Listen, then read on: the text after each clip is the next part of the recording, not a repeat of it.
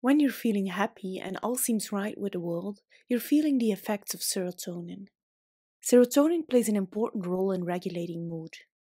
Low levels of serotonin are linked to depression. The most commonly used antidepressants, SSRIs, work by increasing serotonin levels in the brain. SSRIs can also be used to treat obsessive compulsive disorder, panic disorder, and post traumatic stress disorder. Serotonin is a neurotransmitter which carries information from the presynaptic to the postsynaptic neuron. Presynaptic transporter proteins play a critical role in mental disorders as they take some of the serotonin away from the synapses, storing it for the next time that a message needs to be passed across the synapse. This recycling process is called reuptake.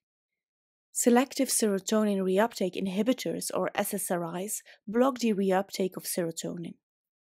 They are called selective because they mainly seem to affect serotonin and not the other neurotransmitters.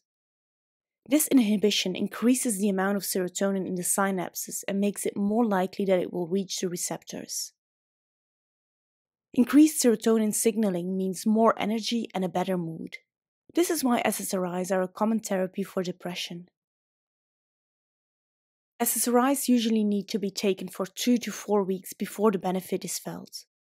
After that, it can take three to six months for symptoms to improve to the point that people are no longer depressed. The drugs should be continued for at least four months after the symptoms disappear to prevent relapse. The most common side effects are diarrhea, sleeping issues, weight changes, and sexual concerns such as erectile dysfunction. Thank you so much for watching this video. If you liked it, please give it a thumbs up.